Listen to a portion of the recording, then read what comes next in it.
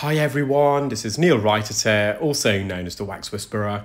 Thank you for joining me in my latest video. I have another very interesting case for you of a patient who attended reporting a blocked left ear. This is their right ear you can see on screen right now. So they do have superficial otitis externa, uh, very medially into the ear canal. The, the, skin was very dry. More laterally near the entrance, you may have seen a bit of macerated dead skin, and that's because the patient admitted to getting water in the ear this morning. Or when I say this morning, the morning of the, the, the appointment day, I think they came a couple of days ago, and in an attempt to flush out their ears. Um, so their left ear, you can see this really impacted plug of wax and keratin and in the midsection of the ear canal, they have quite a narrowing, we call that an isthmus, and then the ear canal balloons back out again. So I just used uh, my newly designed Rye Curette, which has got a tapered tip, and you can probably see that there. The tip of it's quite tapered, and you can see the angulation. It's also curved, and we're trying to get in and under and behind this plug, but it's just too impacted. And fortunately for me, um, my newly designed uh, Rye Ear Pick came up trumps. But before we use that, this is um, my newly designed, uh, we're on a theme here, aren't we? Newly designed right ear hook. So it differs somewhat to the traditional ear hook, uh, St. Bart's ear hook I've been using in the past. And the main difference is the tip. You can see it's a bit more tapered, narrowed. Uh, that enables me not only to break up and chisel wax uh, keratin, just like I did here, uh, which I'm now going to suction away, uh, but it, because it's tapered and narrowed, it allows me to glide in between the wax and the canal wall a bit better. So I've made a bit of an improvement there. But what's really going to come up trumps in a moment is the ear pick.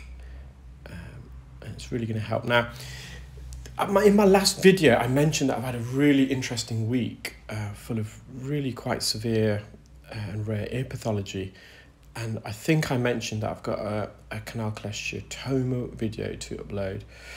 And this patient actually um, has suspected uh, canal cholesteatoma, but it's different to the one I initially mentioned. So we can add this to the list. So just in the last week alone, I think I've seen three cases of otitis externa, one otomycosis, so that is a form of um, otitis externa, but a fungal version, where the other three were bacterial. I've seen a medial canal fibrosis, otherwise known as a, a false fundus, um, two canal cholesteatomas, uh, one chronic suppurative otitis media, I think that's the one I uploaded the day. Um, and which which other ones have I uploaded or I've come across? It's, it's just, it's just uh, past my mind, but it's been quite a week actually. Oh, um, keratosis obturans grade 3, and I'm sure there's there's one more that I'm forgetting, but hopefully it'll come to me. So I will upload these all in the next um, week or so. So this is where the ear pick really helped. Um, I managed to leverage this plug of wax and keratin off the side canal walls. And just because of the low profile of the ear pick. And now I'm going to embed it into the plug and slowly drag this forward. You can see there's a bit of fluid there. Now, I don't know if that's a bit of discharge otorrhea again, this patient had been getting water in the ear. And you can see how well the ear pick worked. Now, with the ear pick, because it's uh, tapered, you do have to be uh, careful when you're extracting, just like the ear hook in, in, in some respects, because you don't want that tip to be um, grazing the bottom of the ear canal or either ear canal walls, because uh, you will be causing some serious damage there. Now, you can see that it is quite wet and damp, and at this stage, there's nothing, doesn't look like anything untowards, but something's already crossed my mind. Um, at the floor of the ear canal, you can see this almost little white pimple, if you like. It's like a bit of raised skin. And whenever I see an ear like this, I'm very keen to, wherever possible, just to try and remove this dead keratin because I want to know what's lurking underneath.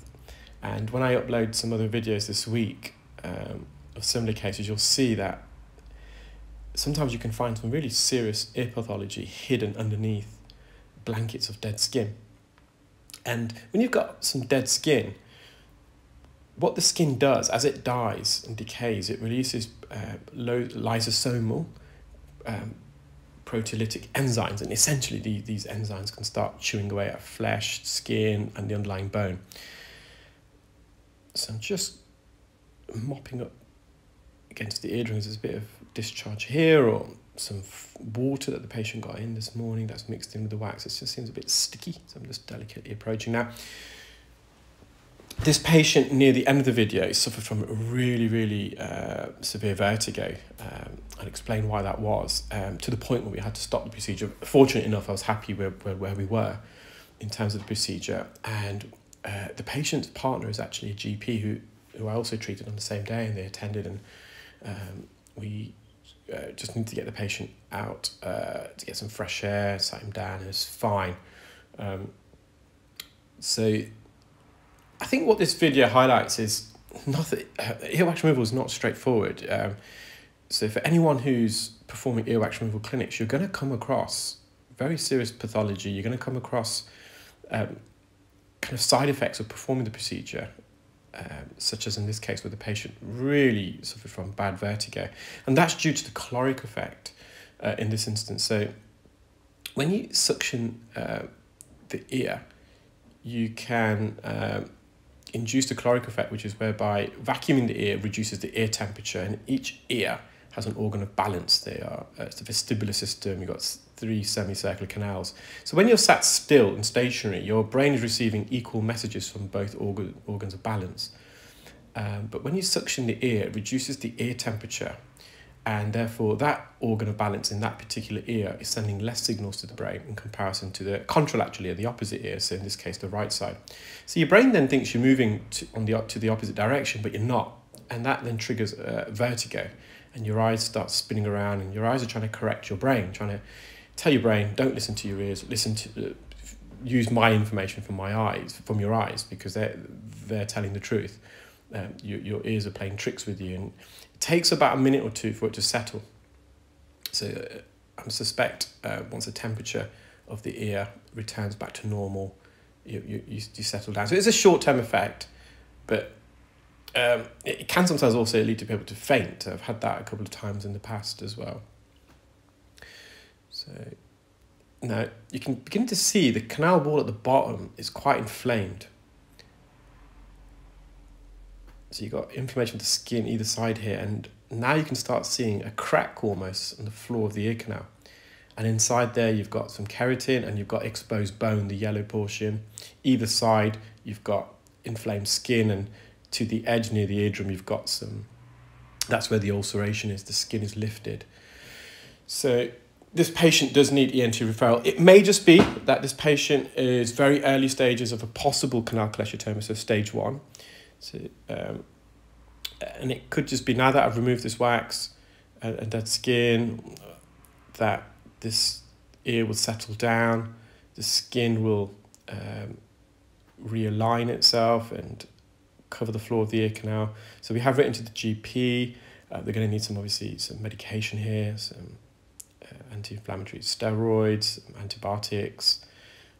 But I have strongly recommended they see ENT as soon as possible now.